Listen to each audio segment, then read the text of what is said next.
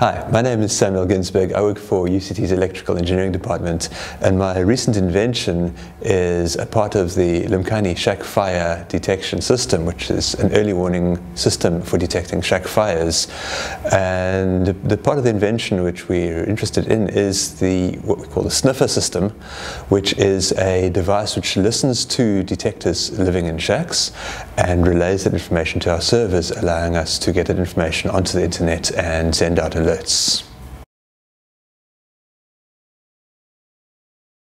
The sniffer device is a, an internet gateway, so all the fire detectors speak to each other. As soon as you install them, they look for other detectors around them and start talking to each other, communicating with each other about whether there's a fire, whether there's a problem that people need to know about.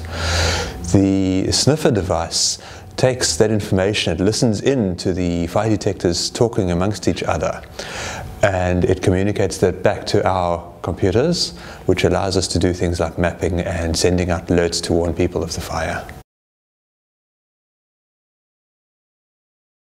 The whole detection system was inspired by the fact that I was listening to the news broadcast while I was driving along and just thinking that it's, it's a tragedy that people are losing um, lives, homes, possessions in these fires and that there should be something that one could do about it uh, technologically to make this a less of a problem for people. Um, it all flowed from there um, by, by thinking more carefully and by engaging with communities about what would really, really be useful. The first challenge in the inventing process was to understand very carefully um, and very thoroughly what exactly the problems are, how these fires start, how they propagate, what it is that people fear about them, how people um, really lose, lose lives and property in these fires, and, and what do communities that are facing this problem really want. It's one of those problems where you have a superficial understanding from what you hear, but to get a deeper understanding of what happens in these communities and how to best fight it is something you can only really get when you speak to the communities. So that was the first problem. There are technical challenges. These fire detectors need to be very robust. They need to be well adapted to the environment. They need to be as cheap as possible. And they need to provide as wide a range of services as possible while at the same time taking into account people's response to technology and how it affects their lives. Yes, I would definitely get involved with communities very much earlier in the process. So uh, in this case, we sat and we thought about it in our isolated ivory tower kind of way for a while and we had our own ideas. But it took us far too long to engage with communities.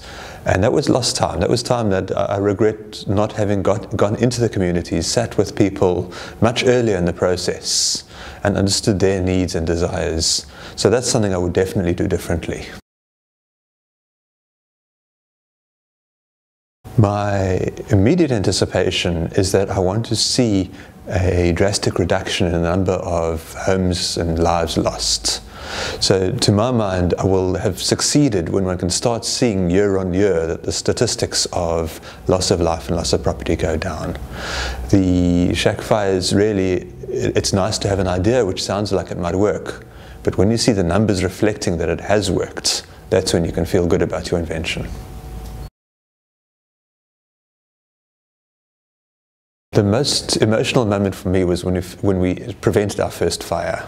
We prevented our first fire actually only a few weeks after we'd installed the system in UT Gardens in Khayelitsha. And uh, straight away, within a few weeks, we got a story that someone had been in hospital giving birth and her neighbor had accidentally set fire to her shack. and uh, no one had noticed because the shack was unoccupied, but the detectors went off and people came out to look. Um, and they saw the fire and they put it out, and, and, we saved a huge amount of destruction there. And it was that was like a, a shivers down the spine moment, just because you suddenly knew that you'd done something really useful. Advice for potential inventors: the the inspiration for inventions comes with the problems you see around you. Um, we live in an imperfect world. There are plenty of problems. There are plenty of people who have difficulties that need resolving.